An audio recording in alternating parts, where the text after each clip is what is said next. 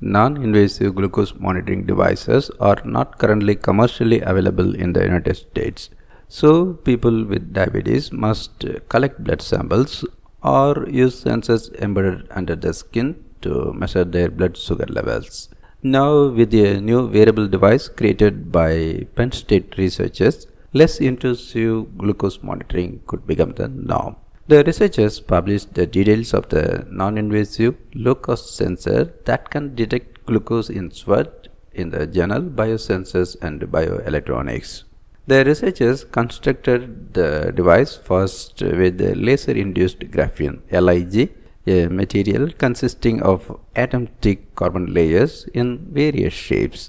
With high electrical conductivity and a convenient fabrication time of just seconds, LIG appeared to be an ideal framework for the sensing device, but there was a significant caveat.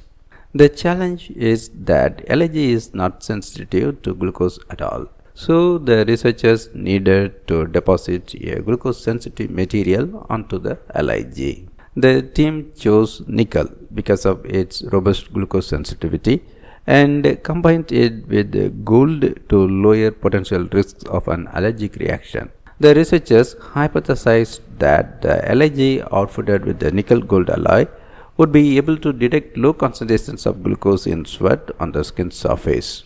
A material with high glucose sensitivity was a priority.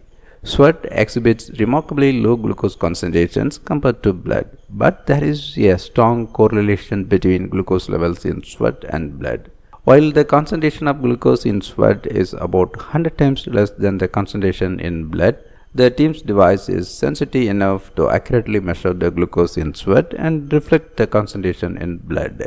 The nickel gold alloy sensitivity allowed the team to exclude uh, enzymes, which are often used to measure glucose in more invasive, commercially available devices or in non invasive monitors proposed by other researchers. These enzymes, however, can degrade quickly with time and changing temperatures.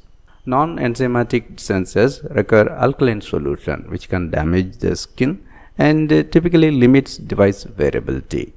To curb this issue, the team attached a microfluidic chamber to the LIG alloy. This chamber is smaller than previously developed configurations to promote variability and porous to allow for a range of movement such as stretching or crushing.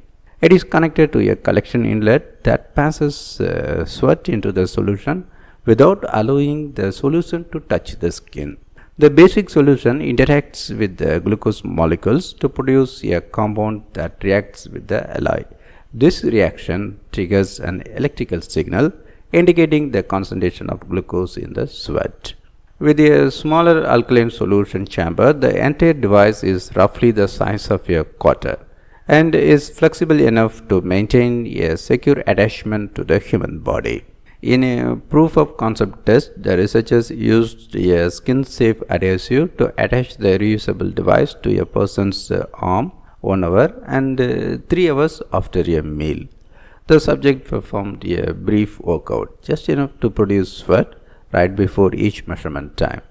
A few minutes after collecting the sweat, uh, the researchers found that the detected glucose concentration dropped from the first measurement to the next. The glucose measurements from the device were verified by measurements made with a commercially available glucose monitor. The team planned to improve upon their prototype for future applications, including addressing how patients or clinicians may use the sensor for incremental glucose measurements or continuous monitoring to determine treatment actions such as administering insulin.